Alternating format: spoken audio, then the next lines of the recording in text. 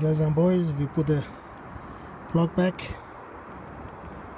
As you see 5W30 as the best part. You feel good when you dump the fresh oil inside the engine you can ask any mechanic like you are having a beautiful tasty lovely food. Look at that when I change the oil I, I actually, actually I think it goes faster the car goes faster. I don't know why. Here we go.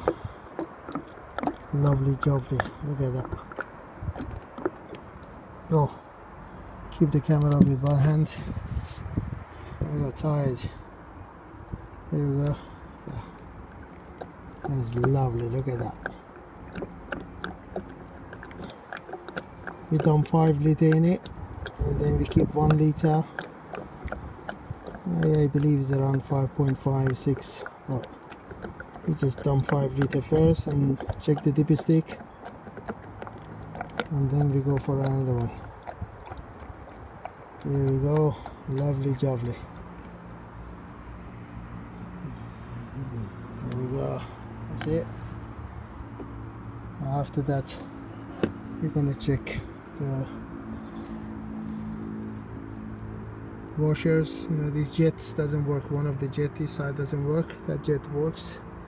We're gonna check the washers to see what's wrong with them. And there's a little bit water there on top of this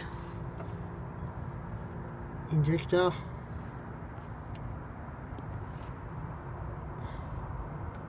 that's not the diesel that's the water because I stick my finger in it. So I'm gonna check that one too.